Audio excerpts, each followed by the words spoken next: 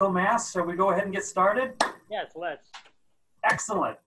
So my name is Chuck Marquardt, and I'm the owner of Red Real Estate Group at Keller Williams Larchmont. I'm also a proud member of the Greater Miracle Mile Chamber of Commerce and its board of directors, and we're so glad that you all took the time to join us today. Uh, we've had so many positive responses to the Zoom meetings that that uh, the uh, Meg and Chris Devlin and, and people have been putting together. And so much of it is because you're taking the time to show up and our politicians, our, our the people who are serving us at the highest levels know that this is a great place to reach out to, to people having an impact on their community. So we just wanted to thank you for being here today. It allows us to be a better source to you when we have the numbers that we're getting. And we're so thrilled today that uh, we get to have right now, at this very moment, Representative uh, Ted Lieu with the U.S. Uh, Congress. Uh, Ted Lieu represents California's 33rd Congressional District in the United States House of Representatives. He's serving in his third term in Congress and currently sits on the House Judiciary Committee and the House Foreign Affairs Committee. He was also elected by the Democratic colleagues to serve as a co-chair of the Democratic Policy and Communications Committee. Congressman Lieu is a former active duty officer in the U.S. Air Force and is currently serving as a colonel in the reserves, stationed at Los Angeles Air Force Base. In Congress, he has established himself as a leader on the environment, cybersecurity, civil liberties, government ethics, and veterans. We're so glad that he's here to talk to us about a number of things. And of course, he's going to be touching on what's going on with, with uh, coronavirus. He's going to be talking about what's going on with the with the amazing and extraordinary time of change that we're in with, with regards to the protests and uh, changes that we're going to be seeing around the country. Thank you so much for being here, uh, uh, uh Congressman Lieu. I'm going to just turn it over to you right now. Uh, one second, Chuck. I'm just going to mute everybody now that I have admitted a majority of our members, and then I will unmute Congressman Lieu.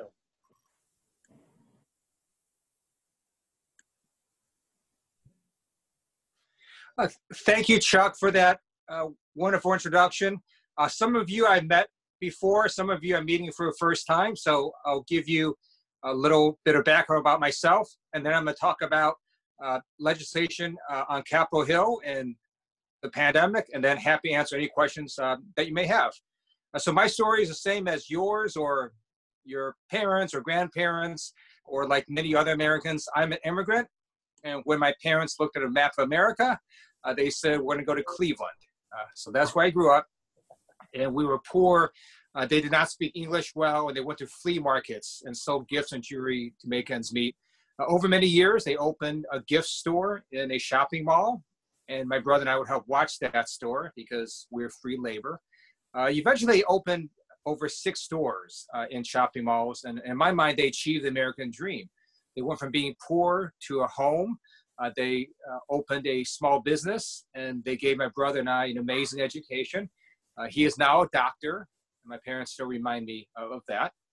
Uh, it's also one reason I joined the U.S. Air Force in active duty. I believe I can never give back to America. Everything this amazing country has given to me.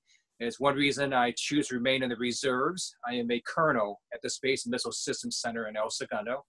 And it's also one reason I'm in politics, to make sure that this dream remains open for people who want to work hard and succeed. Uh, after active duty Air Force, I went into private practice. I'm also a, a, recovering lawyer. I did that for about five years. I was uh, then elected to Torrance City Council, served a term, and then served about nine years in California State Legislature. And now I'm in my third term, uh, going on to six years in Congress. And I never thought we'd uh, be in the middle of a pandemic, but that's where we are right now. So Congress has passed four laws in near record time to address this pandemic. Uh, we have invested billions of dollars to try to find a cure, either through a vaccine or a drug therapy. Uh, we have uh, put out the payment protection program for loans for small businesses. We sent out stimulus checks to Americans. We provided funds to hospitals and uh, local cities and governments. And we've also mandated that testing has to be free. I think all of that was necessary and sufficient, but I think uh, it's not enough to address the scale of the crisis. That's why the House of Representatives last month passed the HEROES Act, which is another round of stimulus uh, to businesses and American families. It's before the US Senate now, and hopefully we can get the Senate to act. And my view, how we get out of this pandemic is we have to uh, do testing, isolation, and tracing. So we have to test people and then find out who they came in contact with, uh, if they were positive, and then isolate those folks. And that's how we are able to uh, keep this uh, virus uh, relatively suppressed so that we can uh, reopen safely. And happy to answer any questions you may have. And thanks so much for having me on. Great. Thank you so much. I'm going to open this up to questions. If you'd like to put it in the chat, we can do that, or you can unmute yourself and I will call on you. I'll get us started off, uh, Congressman Lieu. Can you tell us a little bit about what the changes in the PPP were that happened last Friday and what got signed into law? Sure. Uh, so we, um, well, first of all, let me take a step back. If anyone on this call, or if you know people that have problems with the PPP, uh, please let me or my staff know and we will help you. Um, Aurelia from my staff is on this call. Uh, even though our offices are physically closed, we remain open uh, virtually. Our staff works uh, remotely and we continue to do constituent cases. And a number of our cases have to do with the PPP and dealing with the Small Business Association. We have specific liaisons to the agency and we can help you with any issues. One of the things we were hearing about is it was far too short uh, in terms of um, eight weeks uh, for folks uh, to uh, basically follow the terms of the PPP. We extended it to 24 weeks. Uh, in addition, uh, we made other changes to PPP. we can email you the information so you can get out to your list um, if that would be helpful. The other change we made, which was not just last week but earlier, is it turned out that some of the folks getting the PPP were large, sophisticated businesses or large chains, and a lot of small businesses didn't quite have the same relationships uh, with large banks. And so we uh, carved out a tranche of money uh, for community uh, banks and CDFIs, and that has gotten more money to uh, more uh, mom and pop stores and other small businesses. Great. I have a question. John Engel. Um, I did get the PPEs. I'm a dentist, and I started paying the money right away. Now, what's happened is because of limitations within the county of Los Angeles to what I could do in dentistry, I will have paid the PPP money out, but I have no income coming in. And I would have been better off keeping my office on unemployment and using the PP. Uh, when I got the money, I had eight weeks, period. And so I started paying immediately as the goal was.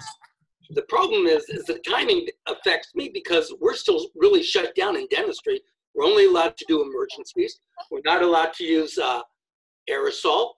And it would have been financially better for me to have left the team on unemployment for another four to six weeks and then use the PPP money afterwards and be able to pay people because I have no income. So I actually am kind of uh, screwed in that situation because I I have no income and yet I've paid I week six of the PPE money was already paid. Right. So so that is one reason we uh, made those changes to the PPP program. Let me see uh, if it could apply in your specific case, and I'll have my staff Aurelia reach out to you. Okay. Great. I have a question from uh, Patricia Lombard of the Larchmont Buzz. Uh, she says, I read that Congressman Lieu called for an investigation into the actions of the LAPD in the recent protests at Fairfax and 3rd in the Fairfax district on May 30th. Can you elaborate on that? Sure, happy to. Uh, so, so first of all, let me say that uh, people who loot or commit arson or assault others, uh, those are crimes that cannot be tolerated. At the same time, there are also a large number of peaceful protesters. And we saw some videos uh, in the Fairfax district, in my congressional district, uh, where it appeared that members of LAPD uh, used batons and chemical sprays and shot projectiles at really close range to people, uh, seemingly without provocation. And while some of the people were retreating, uh, they were still using batons on them. Uh, so I asked for an investigation of the police commission to look into uh, those incidents. Uh, based on LA Times reporting, it appears that uh, 56 officers are now uh, under investigation. Uh, so we'll see what those investigations reveal. Uh, obviously, without knowing the full context, we don't know what the officers were experiencing.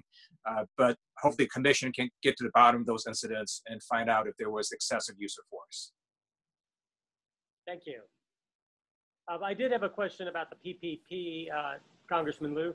Um, it, when we investigated for the Chamber of Commerce and other California public benefit corporations, we found that uh, we are not eligible at this time, and the EIDL is also um, only taking agricultural uh, submissions right now. Can you talk to that? You are not eligible because of the way the statute was written, or is it for other reasons, based on Um, your understanding? that we that the PPP is not eligible for um, chambers of commerce at this time. Oh, right, The yeah. So, would be. yeah, uh, so, uh,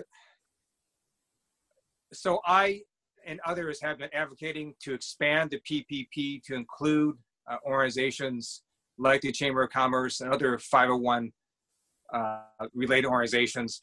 Uh, we were unable to get that uh, in in this last change, but we keep fighting, and so we're going to see if we can uh, expand the PPP to to other organizations. So we're still working on that. Great, thank you. Um, anybody else, if you'd like to ask a question, you can raise your hand and I will. Rudy, I'm, I'm going to unmute you. Uh, you just need to unmute yourself, Rudy. Got it. I just wanted to clarify your answer uh, regarding the PPP funds. So are you saying now that um, if someone already has an outstanding PPP loan, they can extend, they can go back in and request an, an extended amount, not just eight weeks worth of funds, but 22 weeks? I need to look at their uh, enactment date and whether it's retroactive. Um, we will get back to you. Aurelia, if you're on, do you know the answer to that? Yes, I'm on. Uh, that's a that's a good question, and I can look into getting more clarification about that. Um, but it does say in the new um, the new bill, it's uh, HR 7010. Um, it's specific for uh, repaying back the loan. New borrowers, so I guess once it is enacted, um, have now five years instead of two years to pay the loan back if they're not able to get a certain portion forgiven. So I would have to see if the other portion of that is also extended to new borrowers.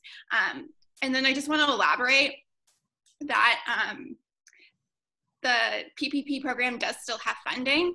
And uh, the way that it was rolled out, it's just kind of interesting. Uh, so there is um, the PPP funding. I'm sorry, uh, the uh, PPP funding is um, still rolled out so people can return the funds and then they can still reapply. So some we've seen some instances where some businesses haven't found that it's the right fit and uh, they aren't able to pay their employees correctly with the PPP funding, so they've returned it and then they submitted a new application. So that's still an option for those that haven't used it, but once it hits your bank account, that's day one, so you have to start using it. The, the last report we had, there was about $130 billion uh, still that could be given out. Um, in addition, changes were made so that instead of paying 75% to uh, personnel costs, I believe that was dropped down to 60%. Uh, so we can get all those details to you.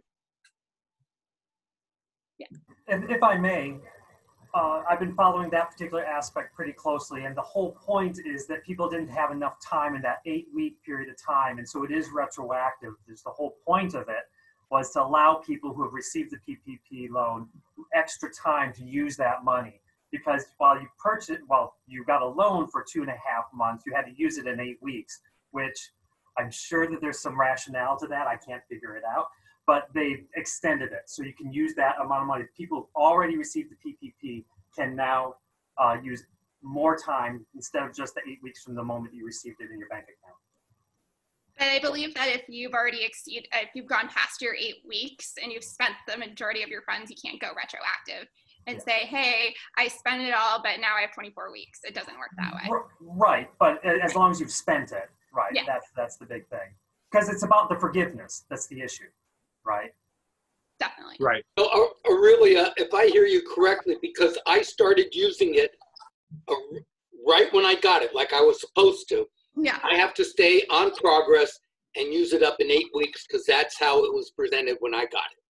You can uh, actually apportion that out, and I would encourage you to reach out to a small business development center. Uh, there's one in LA, and I can send you the information, like the call in information. I'll also send it to Chris and Chuck and Meg uh, to get out to other chamber members. Uh, they provide pretty good advice, and they actually have webinars uh, called PPP How to Spend It, and they'll give guidance. And if you submit that question to them, they'll they'll they'll show Well, you. I, I'm going to be able, I, I have no problem. I'm going to spend the payroll 75% in eight weeks. I'm, and the Yeah. rest is rent. I've used the money. My concern was, had I known that it was going to go past a certain time, I might have not asked for it so quickly and kept everyone on unemployment because I have no money coming in after the fact. So everyone, I don't have any money to pay after the fact.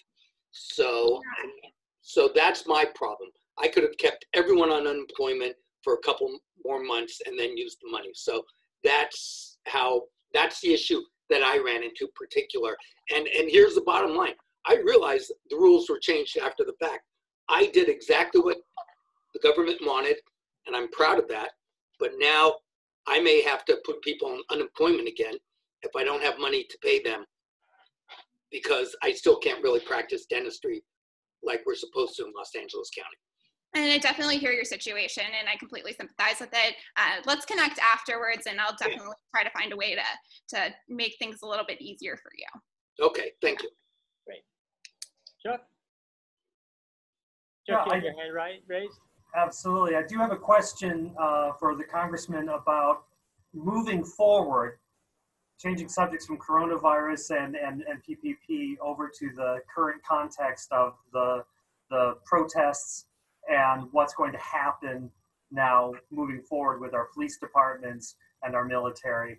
What uh, I'm wondering what solutions you're advocating uh, on our behalf uh, to address the concerns that brought up the protests in the first place, and of course, uh, how we can actually deal with the institutional issues that are confronting us. Uh, thank you for that question. Uh, I'm on the House Judiciary Committee, and we had a hearing yesterday on police brutality. Uh, I am a co-author of the Justice and Policing Act, uh, which uh, has a number of significant reforms. Uh, it will ban chokeholds. Uh, it uh, has provisions in there for training. It reduces qualified immunity. It has a number of transparency provisions and data collection issues in there. And it is something that we hope to get bipartisan support. Uh, there's already over 200 uh, co-authors of the legislation. So that's what we're working on uh, at the congressional level. Uh, my view is this is not an issue uh, of just a, a few bad apples. Uh, this is a systemic issue. It is institutional racism. Um, our life is precious. It also turns out uh, that Black lives are subjected to much higher risk of police brutality uh, than white lives. And that's what the data shows. It shows that Black Americans uh, are killed at twice the rate by police as white Americans. And when you look at the example of Minneapolis, it wasn't just one rogue cop who had his knee on George Floyd's neck.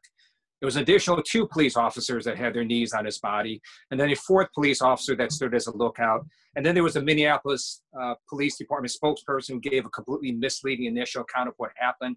And then there are the officers and civilians who knew about Derek Chauvin's 18 misconduct claims that didn't take strong enough action.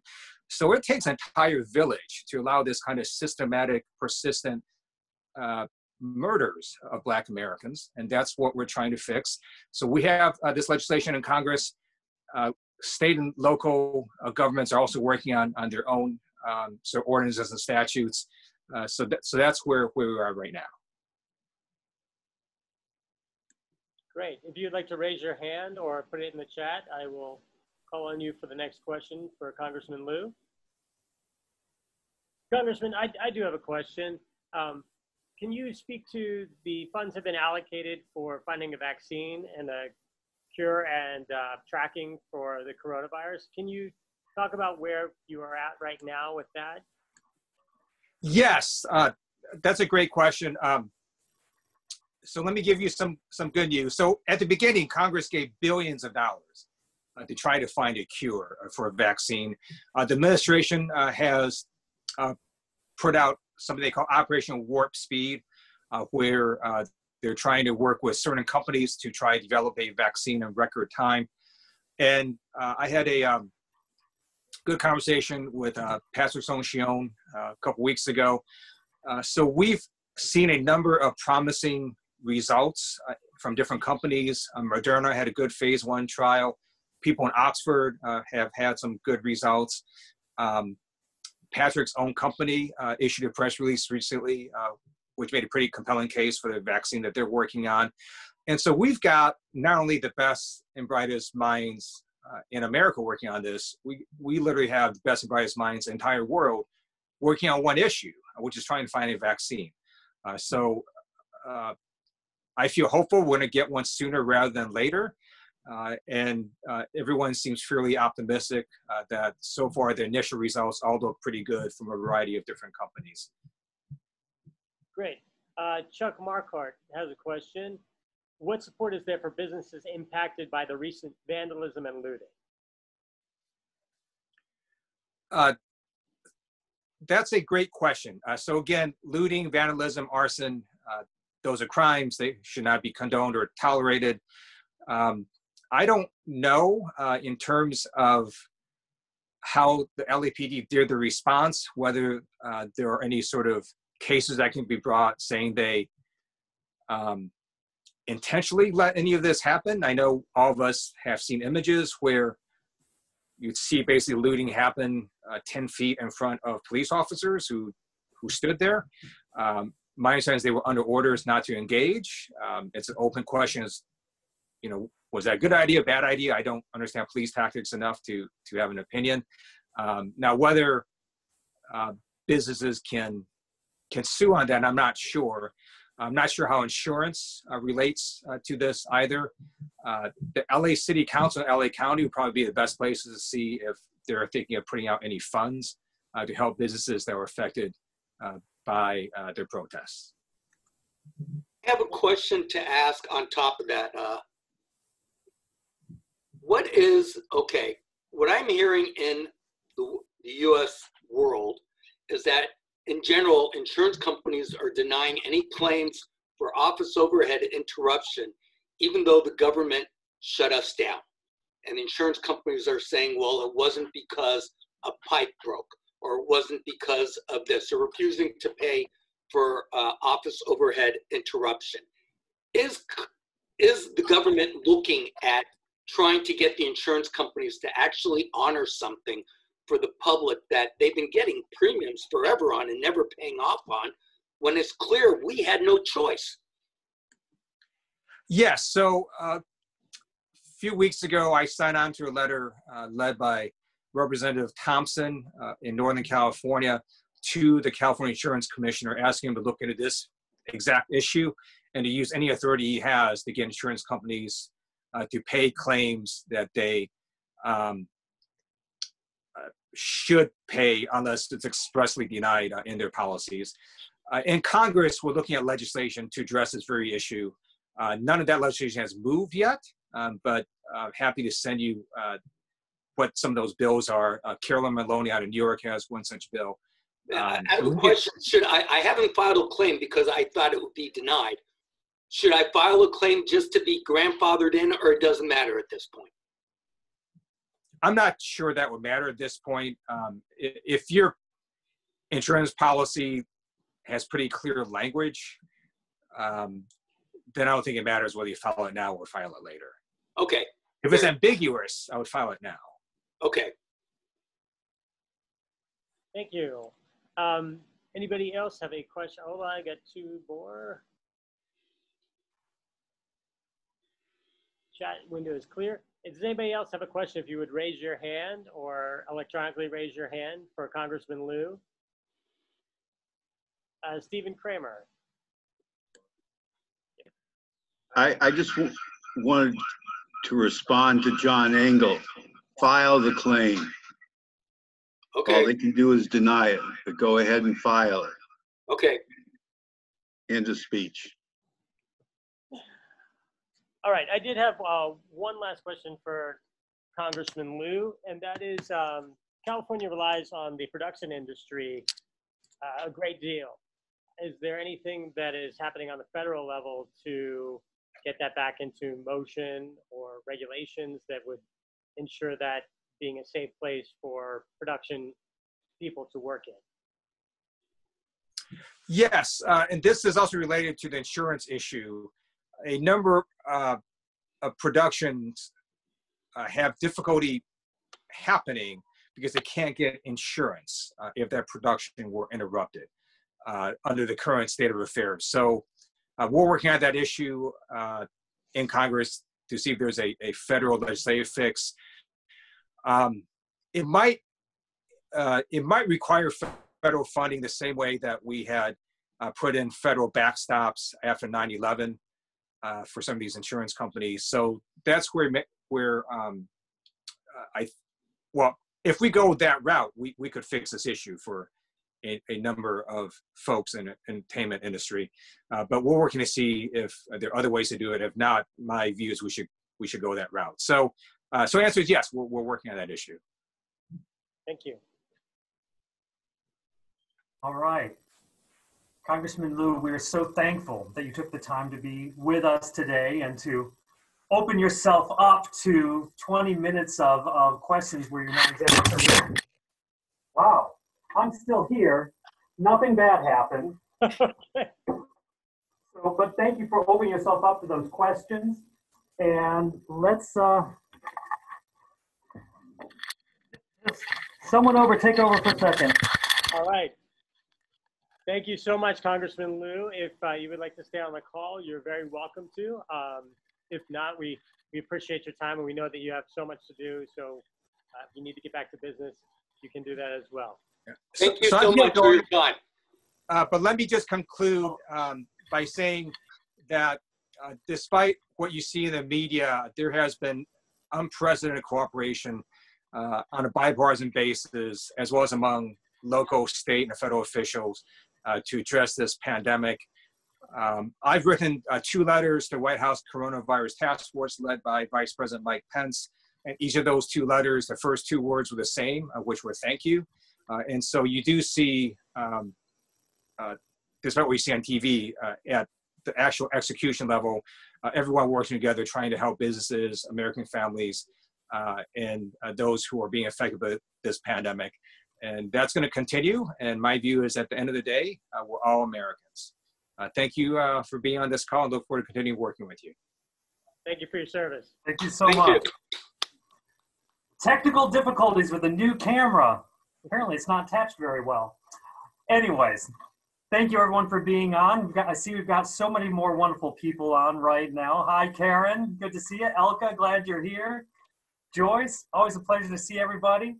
So, what I'd like to do right now is to introduce our next presenter. Uh, Los Angeles City Attorney Mike Feuer has long been one of California's leading lawyers and lawmakers, having represented the Miracle Mile in the State Assembly and on the LA City Council.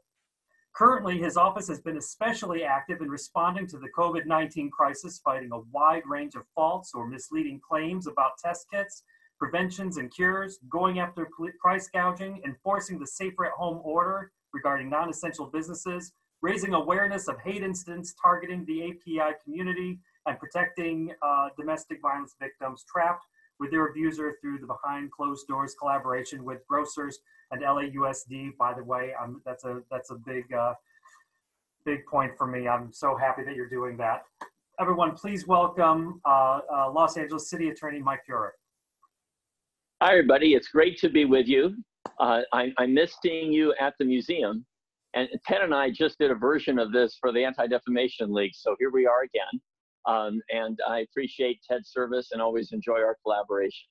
Uh, it is, again, you know, I've been working with uh, you all since I was on the city council in the 1990s, and it's a pleasure to be here today. So I'm going to talk, I guess we have in mind that I would speak for maybe 10, 15 minutes and then take questions. Is that about right? Correct. Very good. Okay.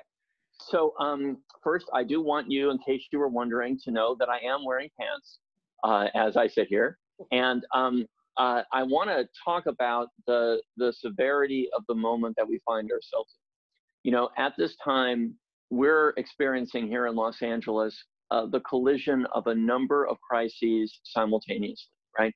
So we have the public health emergency caused by the pandemic. We have the cratering of the economy precipitated by that pandemic. We have the emergence of a call for racial justice on a level we have not heard for years that I hope is sustainable. And our neighborhood experienced some acts of violence that have devastated businesses there. All this on top of homelessness and climate change and other major issues. So, this is a time when all of us have to rise to the challenge. Um, I want to begin by just elaborating a little bit on what was referred to in the introduction uh, about our work in the COVID space. So, when the pandemic emerged, my instruction to our team was to focus on the intersection between public health and consumer protection. And we've done that in a way that, as far as I know, leads the nation. Uh, first, we were focused on the issue of false and misleading claims on the internet that might adversely affect people's health. We zeroed in on the sales of test kits, uh, home test kits that were not approved by the FDA. And you've seen us again and again and again bring lawsuits and stop practices that would otherwise have led people to get kits which could have created false negatives leading people to infect others in their community, senior citizens, elderly relatives, and others, or false positives, which create tremendous anxiety and have other problems associated with them. And you should know that in uh, one of these cases, the Department of Defense reached out to us because of the quality of our work and it comes to their attention. We're part of a, a Justice Department task force with the U.S. Attorney and other federal agencies focused on this issue I'm extremely proud of that work. And it transcended false, um, uh, you know, falsely advertised uh, test kits. It went into disinfectant that we've alleged it will not do the job it's advertised to do. And then we segued into radish paste as an alleged preventative or cure. And then we focused on vitamins, um, which were not substantiated by the FDA to be a way to prevent or cure COVID. Um, and then we went after the uh, Jim Bakker and the Jim Bakker show for selling an item, an advertising item called Silver Solution, um, which and we called on them to substantiate their claims about Silver Solution. Uh, Bakker and the Bakker Show just sued me and other leaders in law enforcement around the United States uh, to try to get us to stop uh, asking questions about whether there's anything to these claims. Um, uh, and other issues. Then we focused on price gouging. You know, price gouging is particularly horrific in a situation where people are filled with anxiety and desperate for basic goods and services. And we again been leaders in this area. We formed a task force with the DA and the LA County Department of Business and Consumer Affairs and County Counsel, and we've been going after instances of price gouging. I actually got a question from a reporter not long ago about why our office has done so much work in this area compared to others. I'm very proud of that work. And then we had to enforce the safer at home order, uh, which meant assuring that non essential businesses were honoring that order in a way that, you know, from my standpoint, I am extremely empathetic with the need of small business in particular to get on its feet. Uh, there are bills to pay. There are employees who rely on businesses for their livelihoods and every day those businesses were shut down is a day that jeopardized what could have been decades worth of work. But all of us need to adhere to the rules that public health uh, officials identify as crucial for all of us to return to work as soon as possible. So our team first was deployed in a way that I wanted to do education first. And so our office made more than 1,800 phone calls to businesses designed to educate them about their obligations, to prevent there from being any further steps necessary, just comply voluntarily with the order. but we've also prosecuted instances where that work didn't wasn't successful and the LAPD came out and warned and still the businesses remained open. And so we have prosecutions pending in about five dozen instances. We also defended that order when activists for guns uh, were trying to create exceptions for gun stores in this moment. And then we've been doing other work you identified. For example, when you are a domestic violence victim, you are trapped now at home with your abuser. And we're very concerned about the fact that there was a reduction since the pandemic first began in reports of domestic abuse and concerned that that was not because there weren't fewer instances of abuse, but instead because people were reluctant to enforce, I mean, to, to report on it.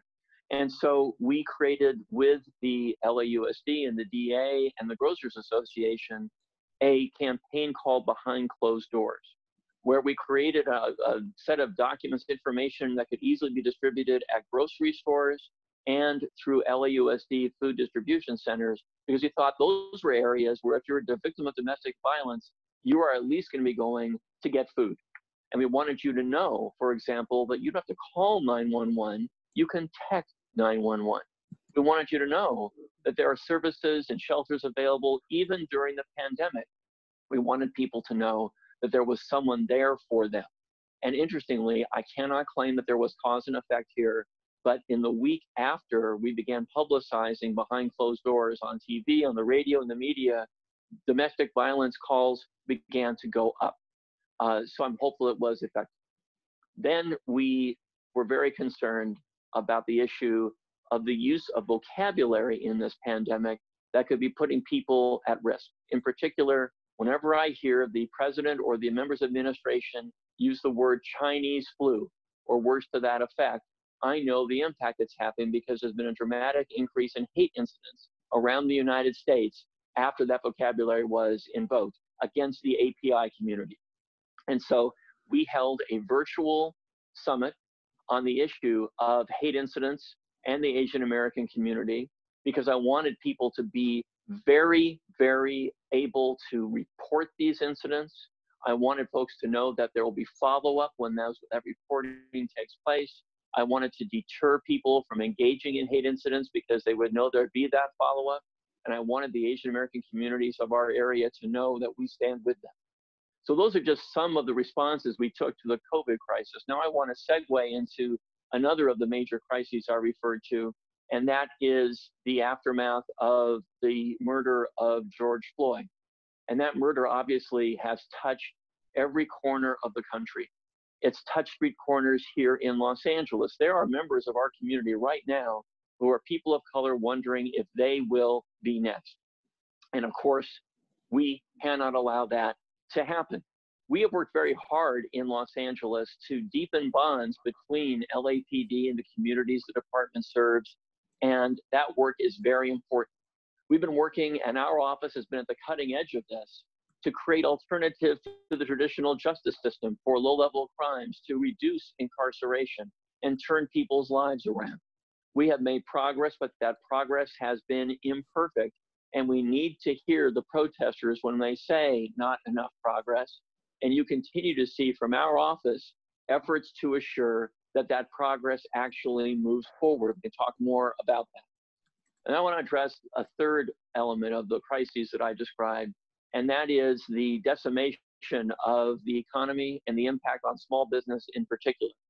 If you watch TV this week, you know that I'm about to convene a series of virtual town halls, including with business community leaders, small businesses in particular. And I invite you all to join when we convene those hearings, those discussions, because I have in mind a conversation that doesn't just take us back to normal, whatever that means. We can be better than that. I want to see us take a leading role in working together to create a next version of Los Angeles that is stronger and more resilient and more hopeful and more equitable. And can I say, I saw the beginnings of what that kind of Los Angeles might look like in our neighborhood about a week and a half ago you know, I live in the Fairfax neighborhood, as you know, and the day after the both the peaceful protest and its aftermath, I awoke early. It was Sunday, about a week and a half ago, And my, I was thinking actually before dawn that what I was going to do was create a program with my office in the lead to help the businesses that have been creamed in the aftermath of the protests to pick up the pieces. And I took a walk in the neighborhood early that morning. But it turned out I did not need to convene anything because, as many of you probably know, our neighbors with brooms and dustpans were going to stores whose owners they never met before just to lend a hand, to pick up shattered glass, and to help pick up shattered lives too. Because I saw um, at one store our neighbors consoling a business owner who they did not know clearly, who was sobbing in her store. She had lost everything. The window was shattered. Almost all her merchandise was gone. And our neighbors were doing one thing. They were saying, We are one community and we're in this together because that's what neighbors do. They didn't need anybody to organize them, they did that on their own. And in those moments, I'm going to invoke words I used a moment ago. I saw a more hopeful, resilient city where people stand up for each other. And that's the city that we are all engaged, all of us, whether we're elected or not, in leading moving forward. So I want to invite you, I'm going to conclude with that. I want to invite you when we convene these virtual town halls about creating a renewed, better Los Angeles. I want to invite you to participate in that and ideally provide specific antidotes to where we are. I want to know what does it look like beyond lip service to really mean we want to lift up small businesses? Is it access to capital? Is it job retraining? Is it mentorship? What is it exactly? Is it regulatory change? How are we going to work together so that the next iteration of our city is better than ever? So, if that's okay, I'd like to conclude with those remarks, and then I'm eager to take your questions. And thanks for what you do, by the way. I hope you're all well and healthy and healthy and safe. Thank you, Mike. I do have a couple of questions, one from Lenore, and then John Engel has a question right after that. Sure. Um, From Lenore, uh, please address Mayor Garcetti's proposal to reduce the police budget by 150 million. Wouldn't it be better to increase their budget to make reforms within the police department? So these are very, very important questions. You know, I used to be the chair of the budget in the city council back in the 1990s, 2000, but I don't have that role now. So I'll, I, I don't have a vote, but I'll give you some thoughts. First thought is, uh, in general terms, and this is, I, I think that Mayor Garcetti also agrees with me on this point, the term defund the police has become popular across the country. I do not use that terminology and I don't support defunding the police.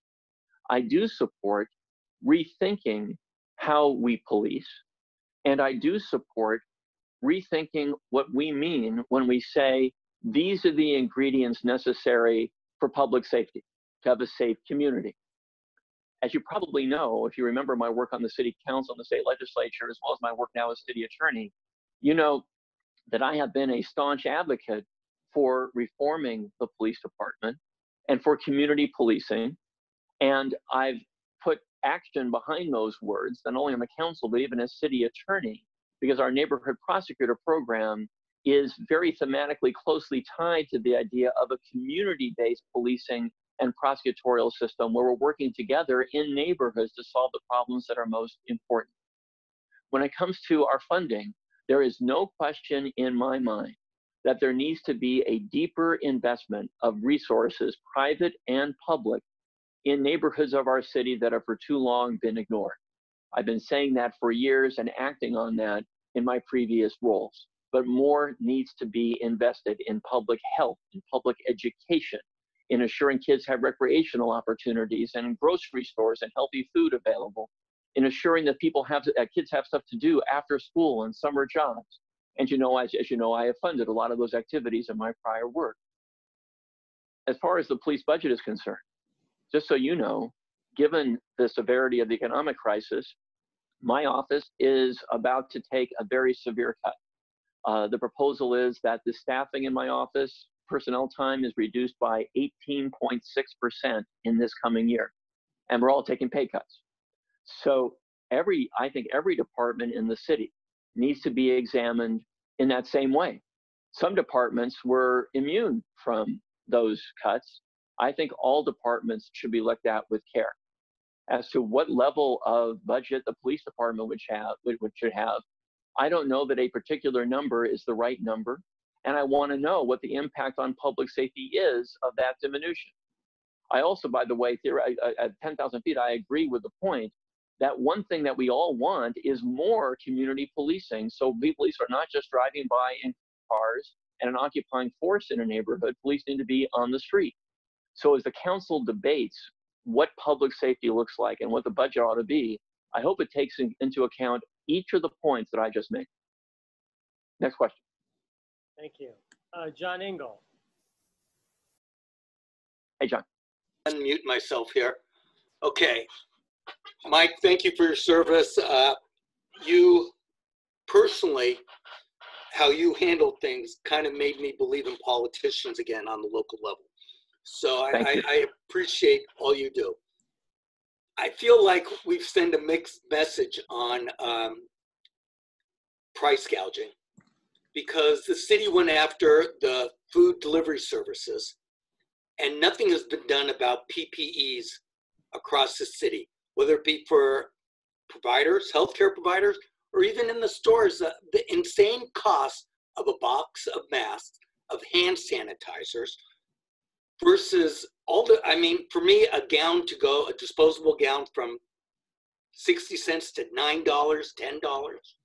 Besides having untenable costs to the public, because someone's going to have to pay for it it's uh it's unre- it's it seems like that has been ignored in everything and uh wondering how you and and the other side of it is and this is the side i hate is that they're all disposable it's going to screw up our our water our oceans we, have more disposables instead of reusing so uh, they're double-edged swords and we won't get into the science because that's way beyond our stuff but i'm just concerned that the public hasn't been protected in the biggest area, which is PPEs. So great question. Let me walk through what our office is doing. So on price gouging, we were we've been focused both online and in brick and mortar stores. Online, early on, we did something very unusual. We developed a collaboration with Amazon because price gouging, as you probably know, is defined by state law as an, a seller offering an item for more than 10% more than it was offered before the emergency was declared. Establishing that required two things that we did not easily have in combating online price gouging. One, the identity of the third party seller, which is not always transparent on Amazon. And Mhm. two, what they were selling the good for before the emergency. Amazon provided us with both. And so we have again and again filed price gouging cases that are pending now. I'll give you one example. Uh, a seller allegedly selling a package of 10 masks for more than $200. Um, another seller sen- selling a pack, a container, two containers of hand sanitizer, a couple liters, for more than $200. Uh, so in those instances and others, we are actually going after price gouging for precisely the things you're talking about hand sanitizer, masks, and so forth. In brick and mortar stores, we have sent, submitted dozens, I think almost 80 now, cease and desist letters that LAPD has been serving on brick and mortar businesses throughout our community, focused on the kinds of goods you're talking about and others too, uh, and getting compliance once those cease and desist letters have been served. And we're continuing to get other referrals for cases. Now, you, to, I want to distinguish that from you mentioned the um, delivery services. That was not our work, and not really price gouging in, in a legal sense. That the city council chose to impose a reduction on what the food delivery services, as a matter of law, could charge for our purposes. Just to give you a sense, in addition to all the work I described online and in brick and mortar, we felt as though the state statute that existed redefining price gouging didn't go far enough. So, in addition to all the work I'm describing, in the middle of the pandemic, we also went to the city council and got city law to change to make it easier for us to pursue price gouging for sellers who didn't offer good services before the emergency. So, we're working on a lot of fronts, John, I think consistent with your goal. Okay, so what, what, there is nothing you re- can really do about companies like 3M, which makes the N95 mask. If they decide at the wholesale level to raise their price, there's nothing we can do about that. I'm, you know, you said something very important. A defense to price gouging that a seller could raise at the local level is that their cost went up in an amount equal to what the charging, uh, the Oh, amount which they're charging has increased. We know that's happening. Yeah. Yeah, and and that's right. That is beyond the control of my office. Last thing I do want to say though is you should know without I can't get into detail, but I've also been very concerned about costs incurred by medical facilities, and we're working with one medical facility now regarding an allegation about the costs that they were incurring. So we're working on many levels at the same time, but I cannot change the cost that a national company is charging um, to local sellers. That's beyond my authority. Okay, very good. Thanks for thanks for your question. Okay, thank you, John. Uh, next question. If anybody has a question, you can raise your hand. Yes, Guy, I will unmute you. Oh, thank you. Uh, uh, my concern moving forward with the police, just the morale of the police with this, uh, these recent uh, incidences, uh, just hiring uh, officers. I, I, there's good officers and there's actually bad officers, but I imagine hiring going forward is going to be just challenging. It's bad enough. Uh, I have a neighbor who moved out of Los Angeles, became a police officer. I spoke with him a couple weeks ago, and it, it's just an interesting mindset of of an officer who uh, has just gone into the field of uh, policing. And I, I, I'm concerned about the hiring and the pool of individuals. It's like a deterrent. I was just wondering if that's played on uh, anybody on the council uh, of just going forward, the difficulty it may be hiring uh, good officers and people wanting the job. I mean, it's a t- tough job as it is. And with this last few weeks, it makes it even more challenging. I, I was just throwing it out there more like a comment. I was just wondering if there's any anything uh, try to help to recruit individuals versus deterring them. So it's a great question. I, I can't speak for what the council members are thinking about this. I'll tell you what I think. Uh, on the one hand, all of us know that there is an urgent need to assure that there is no room in any of our institutions, especially the police department, for racism, either implicit or explicit, and that equity in the way we deliver uh, policing services has to be the rule of the day and that excessive force has no place in law enforcement. All those principles need to be brought home at the most basic level. It is also the case that I too am concerned that because of all the events that are happening right now, that police officers who are trying their best to do a really good job every day are themselves suffering from bad morale right now. And that recruiting people who we want on the force because they want to be the kind of policing officers who we all want to respect and they want to earn the respect of the communities they serve may decide to do something else. Um, and so as we move forward as a city, we've got to both be extremely vigilant about making this the defining time where we root out racism and excessive force, and at the same time promote the values of policing that will inspire people we want to serve to be on the force striking that balance is going to be extremely challenging to do, but it's absolutely necessary. Like I said before, I don't support defunding the police. I support a police force that is a part of the community it serves, and that because of the way it serves the community, earns the respect of people in neighborhoods and respects the people in the neighborhoods it serves. That's the department that I want our city to have. We've made great strides in that direction, but we still have room to go. Next question. Great.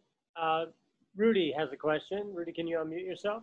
Yep, I did. So um, you actually came right back to what I wanted to uh, revisit, which is the idea of defunding the police, as well as you know the definition of what policing is.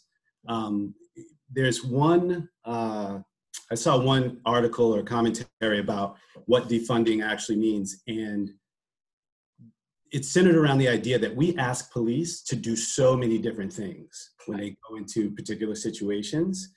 And so, you know, we talk about the kind of training they receive. We talk about um, you know, how much is budgeted for police activity, the, the fact that they have to do so much overtime.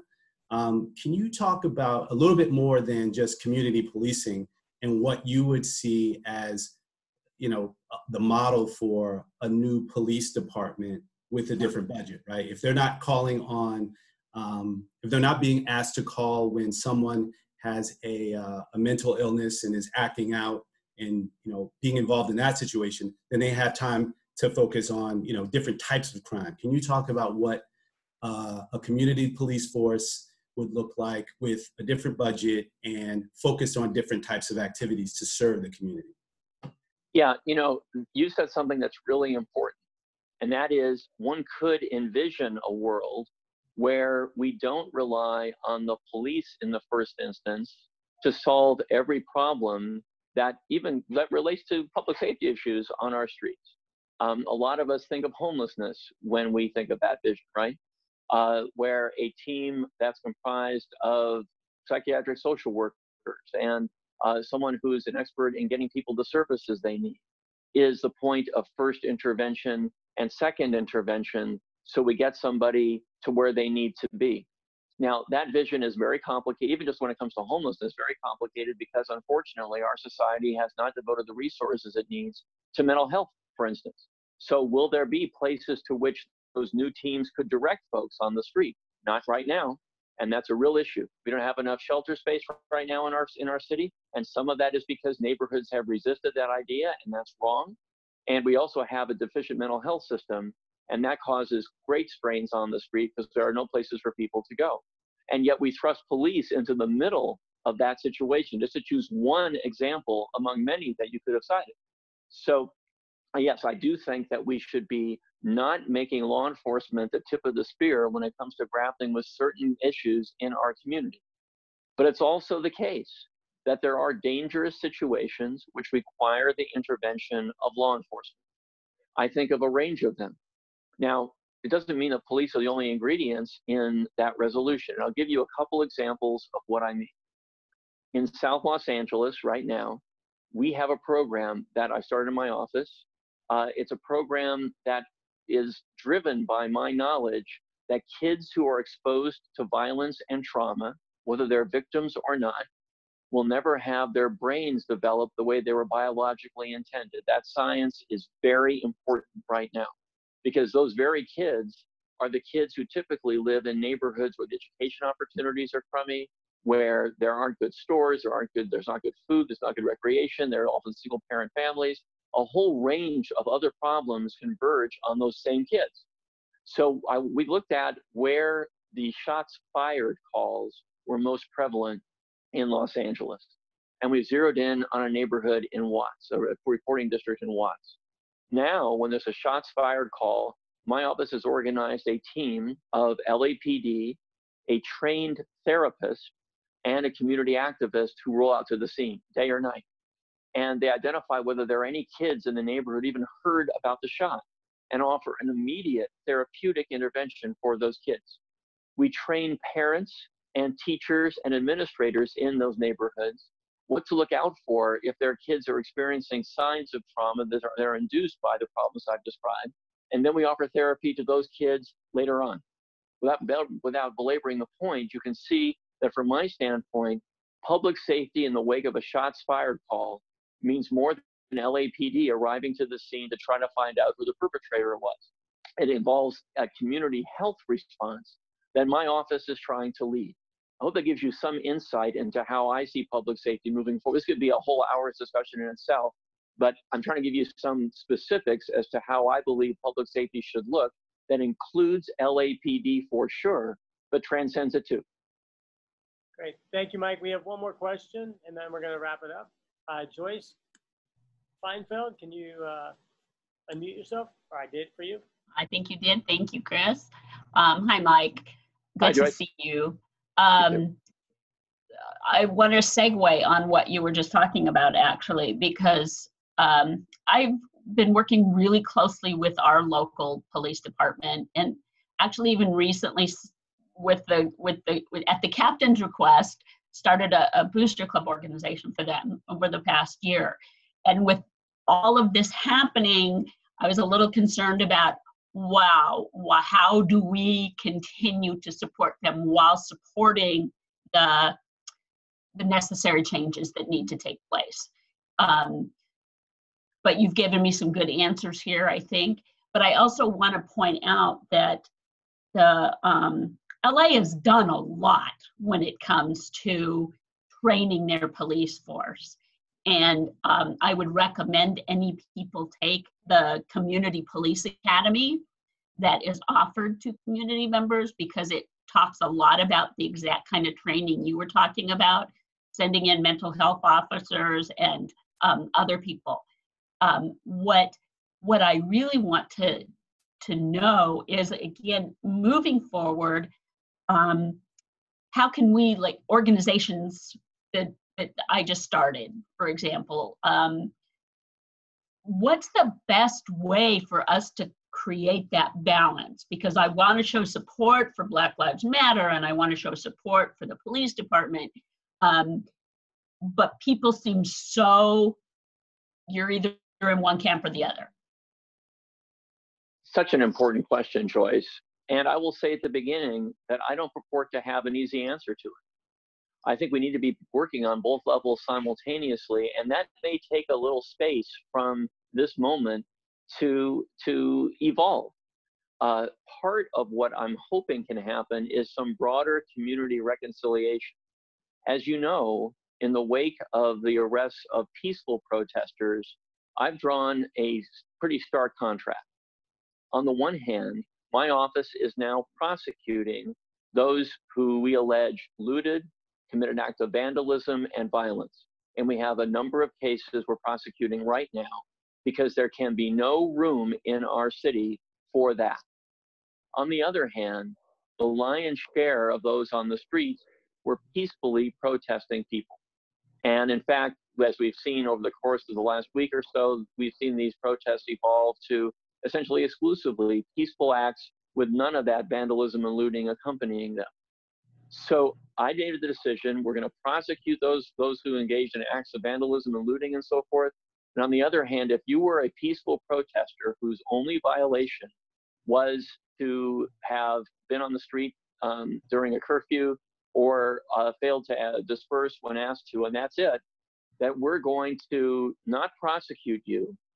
In my office, when we decided this week to create instead, and this is where I want to conclude the answer, a series of, I think, innovative ways to bring protester and law enforcement and community activists and business persons together for conversations that will deepen understanding and empathy and create the space for the kind of mutual respect that enables you, Joyce, to be in a situation where you can be a booster of the police and a champion for equity at the same time. Um, I'm, we're not there yet, I don't think. But that, those kinds of conversations in a meaningful way, I think, are ingredients in moving forward. So I don't have like a, an ABC series of steps that I recommend you take because I'm not sure what the answer is right now. The feelings are very raw at the moment. But I think moving forward, the way to get to where you want to go is to create these opportunities for candid, direct exchanges where people say what they mean and ideally propose concrete suggestions. Thanks for your question. I look forward to more. I really appreciate you guys getting together with me today. Thank you, Mike.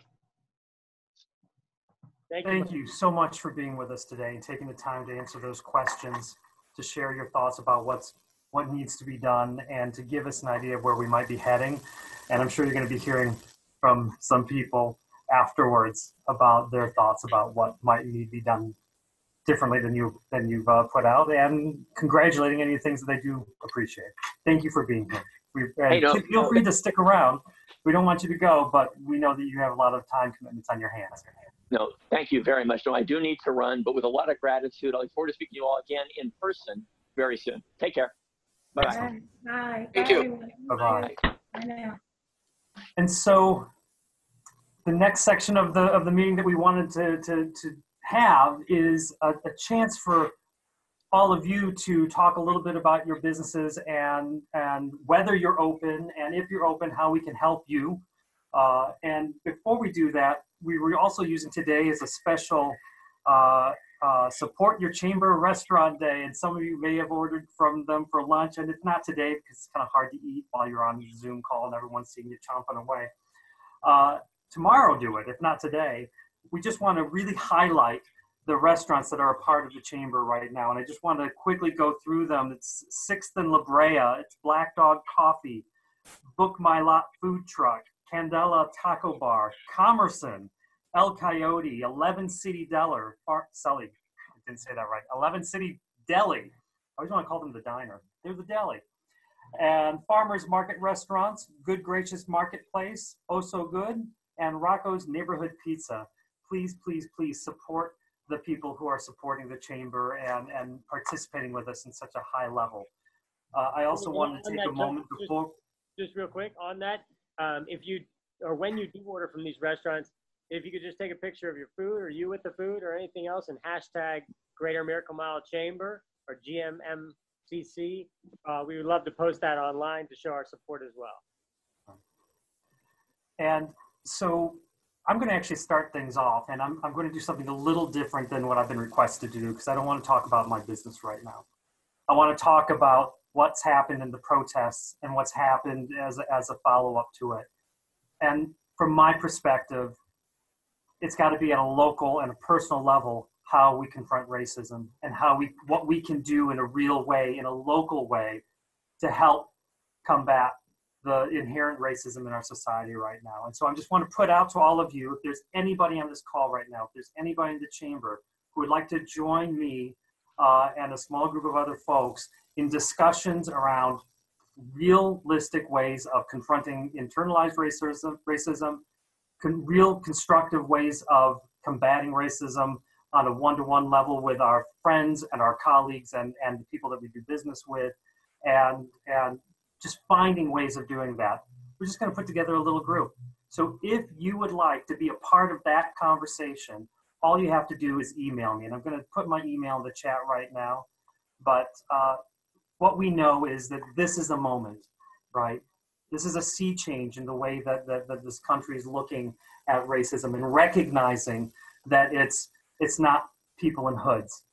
It's, it's, it's, it's all of us participating potentially in a systemic way that we interact with with with with uh, our, our African American and Asian and and Latinx and any other ish uh, group that we want to talk about, lesbian, gay, bisexual, whatever. But in this moment, we're talking about about Black uh, lives, right? So if you want to be a part of that conversation, and I don't know where it's going to go, I don't know. But the point is to get together and start having those conversations. Email me, chuck at seeingredla.com and we'll put uh, we'll put a little uh, little task force together. Thank you, Chuck. And having said that, let's hear from you about your businesses, whether whether you're open, and if you are open, what we can do to help support you. What are your hours? What can we do to support you? And I'm just going to get started right now with John Engel. You're at the top of my screen. Okay, well, I'm John Engel. I'm a dentist. We are open, but with very specific guidelines from the County of Los Angeles. Uh, my office is made it very clear as a team, we will not only meet but exceed all the guidelines. Right now, we're not supposed to use cavitrons, anything that creates aerosol. Uh, so I don't do, most of my work creates aerosol. So right now, I'm seeing emergencies and I have all the PPE, so I could do emergency aerosol, um, but I'm not scheduling things that are not emergency like that. Uh, we're taking care of new patients, we're taking care of emergencies, um, and uh, we're just here to, you know, to be the best team player in the community in a really difficult time. John, as to that, are people, uh, can people uh, call and uh, schedule an appointment for an upcoming session? Is that possible? You know what? We are still. This is yeah. You're you hit the nail on the head from my front desk. What can we really schedule? Because we don't know when they're going to lift the aerosol uh, requirements.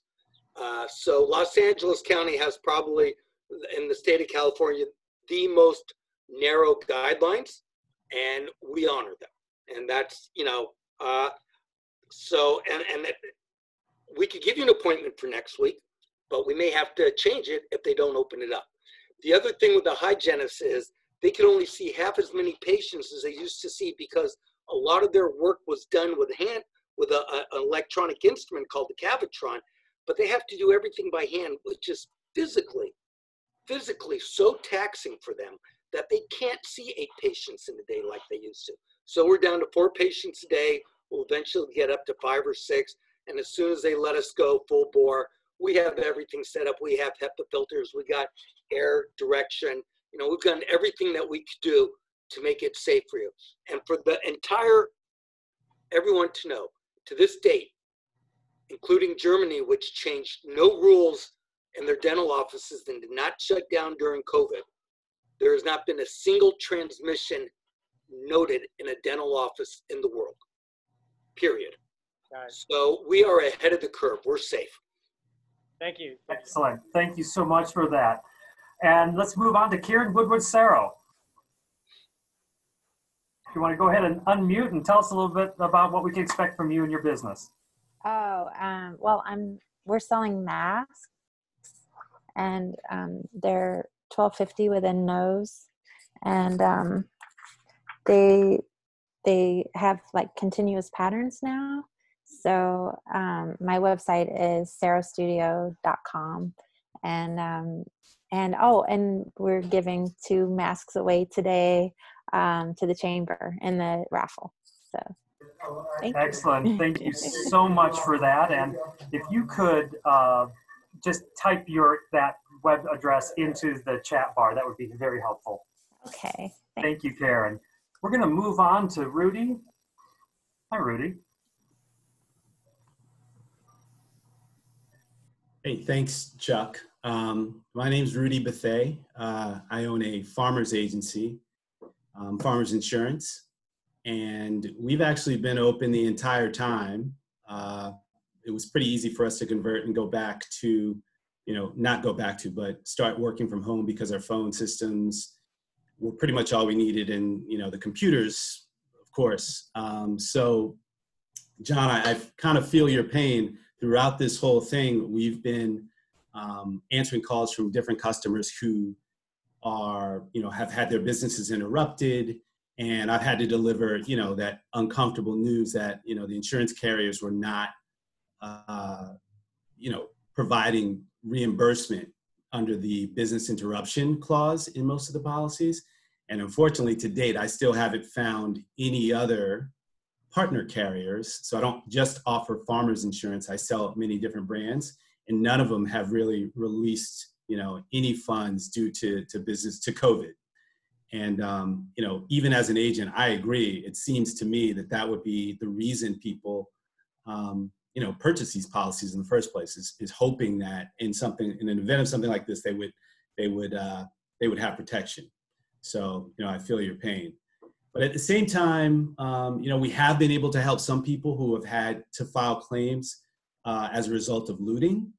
Um, and so we were able to honor, you know, every single claim that was filed uh, for property for property damage. Um, so we've been we've been working pretty diligently with other businesses in the community to to respond to those issues. Um, other than that, uh, we've ha- we've also had to we've been doing a lot of work with homeowners and people and their car insurance, just helping them out find different ways to either you know make good on their premium payments or to find other carriers that might be more you know affordable in this time.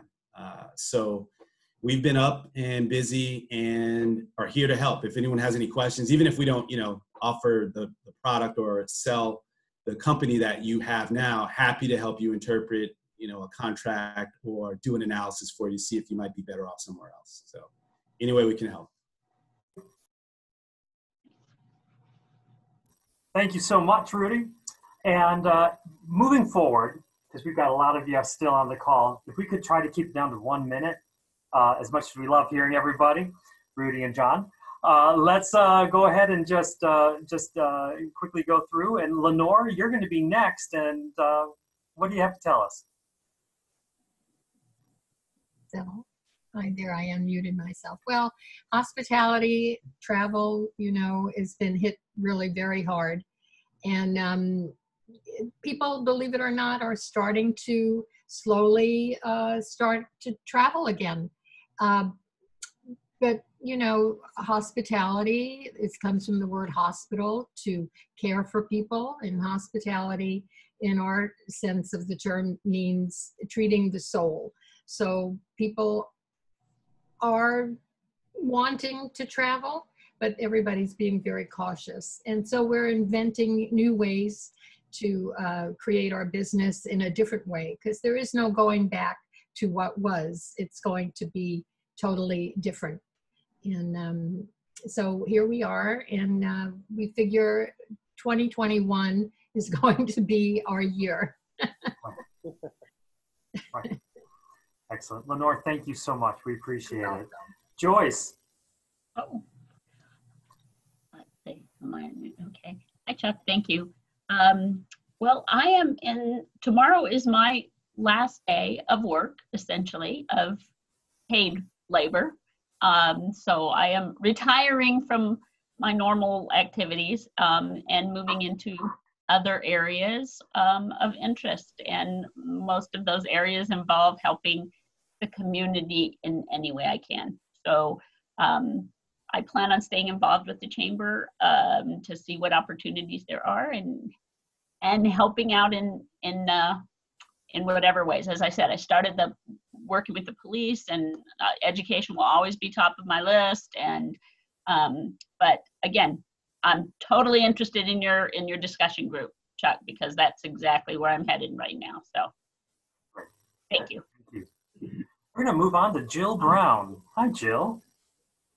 Hi, Chuck. Hi, everyone. So at Los Angeles Museum of the Holocaust, our building is still closed, but we have online programs. We have speakers every week, both Holocaust survivors and other speakers and panel discussions. But I especially want to mention um, that we have two summer workshops coming up for middle and high school students. Joyce, if you know anyone, please let them know. Um, so these programs are usually held in person, but they will be online this year.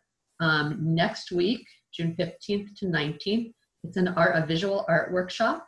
And so students are going to be working with Holocaust survivors who are themselves artists, learning about their experiences and talking about how they can use art in their own lives to express themselves and find resilience in difficult situations. That's next week, um, and it's in partnership with Milken School, but it's open to any student, uh, middle school or high school. And then our second workshop is a theater workshop. It's a two week program, July 6th to 17th, and it's in partnership with the Wallis Annenberg Center for Performing Arts. And so students will work with um, theater directors and Holocaust survivors and create a short theater piece that portrays experiences that Holocaust survivors um, experienced when they were young. And they will virtually uh, present their work through uh, the Wallis Annenberg Center. And I will put a link in the chat um, to if anyone wants to sign up. Thank you for that, Jill. Excellent. It's so Thanks. good that you're in our community. We're so thrilled about that. Thank you. Elka, we're going to go to you, and after that, it'll be Guy. Okay, great. Um, Jill, I'm going to actually email you because uh, my daughter has participated in the past in one of your high school programs, and I have a middle schooler um, and an eighth grader who just graduated via drive-through graduation yesterday. Um, so we'll definitely love to get them both in there. Um, so thank you. My business has been um, really, we're focused again on Medicare, uh, Medicare enrollments. We've been helping a lot of people over the phone and via um, online enrollments. In the past, it's all been face to face mostly. And then at the end of this month, I will be doing my first virtual Medicare 101 seminar um, via Zoom as well. So that will be interesting. Um, and then something that we participated in earlier this or last at the end of last month was through um, one of the local synagogues did a flower bouquets that they were sending out to all their senior members. So um, my company, Simple Horizons, actually was able to co-sponsor a lot of those, and the kids in the community wrote cards Um, and then they were all hand delivered to those seniors. So we were happy to participate in that. Um, I think everyone loves getting flowers. Um, and it, of course, if anyone ever has questions about Medicare, med- retirement, um, all of that, they can shoot them my way. Thank you so much, Elka. Guy. Good morning. Uh, Thank you, Chuck. Uh, I'm with Cresa Realty, and uh, we represent uh, occupiers, maybe office, industrial, or office. We represent uh, tenants only, a system on expansion, relocation, and renewals. And I want to have a shout out. Uh, Rudy came through the uh, Miracle Mile Chamber as a referral. That's how I became a member after all these years. And, and Rudy, I just moved him uh, from his previous location into a Larchmont Village. And I was grateful to give Chuck a, a referral of a, of a physician that I'm uh, currently second time uh, renewing their lease in a high-rise building. So if you need anybody uh, needs any requirements for renewal of their lease, I always try to tell my clients start way ahead of the time. It takes a lot longer than anybody anticipates. If your lease is expiring within the 12 months, we need to you need to start now. And I create leverage for tenants on behalf of them. For landlords are bidding for their business. And some businesses are hard to relocate, like this doctor I'm working with. It's established doctors and dentists don't like to relocate. There's a lot of infrastructure that's already in place, and to duplicate that's expensive. But there's ways to create leverage with current landlords to keep those costs down. That's what I Thank you, Guy. All right, we're going to do one more because we're, we're running out of time. I'm just going to uh, ask Marcella. Marcella, would you unmute and uh, just quickly tell us a little bit about your business hours and what you're doing? Okay, thanks. Hi, guys. It's so nice to see everybody. And wow, what wonderful speakers we had. Just real quick, uh, we're excited because uh, we have been in contact. We do the outdoor fitness program at the park. And one thing we did is we did pivot and we started offering the online Zoom classes, which has been wonderful because we now have people worldwide joining us on boot camp at different times of the day. So it's been really exciting in that regard. Uh, we are excited to get back outdoors to the park though. So we're in communication with them and uh, it may be really soon that we're going to be out there practicing safe distancing uh, with masks and all exercising in the park. So we're very excited about that. And one thing I just want to leave you with a little healthy tip because I find myself doing this lately as stress starts to rise because it's stressful thinking about getting back out into the world even you know there's a lot to it.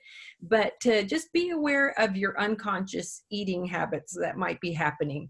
You know uh, it's if it's there you're going to start reaching for it and try and get on a schedule of your eating so that you you get that little piece under control because it can happen real fast that all of a sudden you're like i didn't even taste what i ate. So i just want to encourage you all to be healthy stay safe and stay informed. Thank you I'm not calling it the COVID 19, I'm calling it the COVID 20. oh the 20 pounds I've been eating. we can I've take care of that it's okay don't stress over that no it'll go away But, but, but something needs to be done. Anyways, uh, I'm so sorry we didn't get to everybody, but we do want to get to the raffle. So I want to talk to Meg really quick. Meg, what's first up on our raffle? We just need to unmute Meg. Unmute. There we go. Not hearing you yet. Meg, you don't touch anything. Chris, unmute her. I'm working on it. There we go. Thanks. Hello. Hi, What's everybody. the first thing on our list? Yes, well, uh, I have, let's go for Karen's two face masks. And they're really cool. They're gorgeous. So, uh, Chris, are you going to let that um, electronic spin go? And, Yeah, it's uh, Michelle Mena. aha! Excellent. Excellent. Congratulations, Michelle. You're going you. to. I, I never win anything. Yes, you do. You can never say that again. Like, that's right. Okay. Excellent. And, And um, thank you so much, Karen, for donating those. Yeah. All right. And What's next next up? is Fanciful Fine Food and Baskets is going to give a gift certificate. They haven't indicated how much, but whatever size basket you get with these guys is fabulous. So for a fanciful fine food basket, Chris, take it away. Up for your retirement, Joyce. Joyce Kleinfeld. Yay! Yay! Excellent. And thank you, Wally and Terry August, for doing that. All right. And from Kramer Law Group, we've got a healthcare directive, which is transferable. All right. That would be Ying Vida. Okay. Hi, Ying, wherever you are. Is Ying still here? Yeah. Still here. Oh, I'm not seeing her. Uh oh. Uh oh. Another spin, please. Okay. Drawing again here. I'm back. Did I win anything? Not yet. Oh, Mariko. Erica. Mariko. Oh, Mariko. Oh, Mariko. Oh, hey, is Mariko still here? She is No. not on call. She was for a time, but not No. Spin again. spinning again. Let's spin the wheel. Erica Pressberg. Erica Pressburg. Erica's gone. It's been again. Here we go. All right. Karen Sorrow. All right. Yay! Yay. Okay. From Urban Florist, a fabulous and ever gorgeous arrangement. So give it a spin. Up Kimberly Morrissey. Barosi. I'm not hearing the name. Uh, Kimberly Morosi. Kimberly Morosi. She's gone. All right. Spin again. Boy, she gonna miss out. Oh, I'm gonna butcher this name. I apologize in advance. Alan Say uh, Ganian? Alan's not here. Okay. Spin again. Marcella wants it. Jill Brown. Jill here? Hey! All right. Woo-hoo. Excellent. And is that the final one? Oh no, we got more. But All right. wait, there's more What's from next? Nutmeg, a fabulous wooden jigsaw puzzle. You've already got one. I did it already. Uh, Well, okay. Kim. Is Eva Kim still on the line? Who? Eva? Eva Kim? Eva Kim is not here. Too bad. Uh, Evan Thomas. Evan's gone. Oops. Lisa Barnett. Yes. Hi, Lisa. Ah, Hey. All right. Pays to stick around. it sure does. Okay. Dr. John from Southern California Dental, a new patient exam with x-rays. Wow. Jane Gilman. Jane, you here? Jane's gone. Jane's gone. Okay. Spin again. Come on, Marcella, win it. You need it. You want it. Uh, Guy Eisner. right on. Guy? Congratulations, Guy. Thank you, Dr. John. Thank you. Okay, and the last one is from Good Gracious Events, a selection of their savory pies. Uh-huh. Delicious. They are. Christy Tarpley. All right. Right on. Woohoo! well, thank you all. Thank you for those who donated, and thank you to those who won. Yay! All right. Thank you, everybody, for joining. Thank you, Chris, again, for your outstanding uh, uh, technical abilities and keeping us on track. Meg, you did an outstanding job putting everything together once again. And uh, I just want to thank, take a moment and thank our, our uh, the, the chair of the, the board, uh, Steve Kramer, for always, always, always supporting all the efforts and making everything happen. You have no idea what he does behind the scenes. It's constant and it's consistent and it's persistent. And I'm just so thankful for him. All right. You That want a listing? Yeah. Anyways, that aside, We'll see you next month. Thank you so much for being here. All right. Got it. Bye bye.